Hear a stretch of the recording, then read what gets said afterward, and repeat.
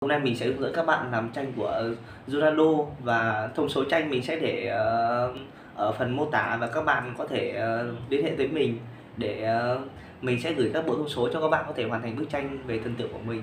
Và mình đang có dự án làm tranh các nhân vật mà các bạn yêu thích và các bạn sẽ comment phía dưới để mình làm các nhân vật đó và ra thông số và các bạn có thể hoàn toàn làm từ tranh ở tại nhà luôn nhé. Bye bye! Tranh mình thì uh, của Zondo gồm 300 đinh và khoảng 4.500 ờ, mét ờ, chỉ may màu đen loại đặc biệt để mình làm tranh.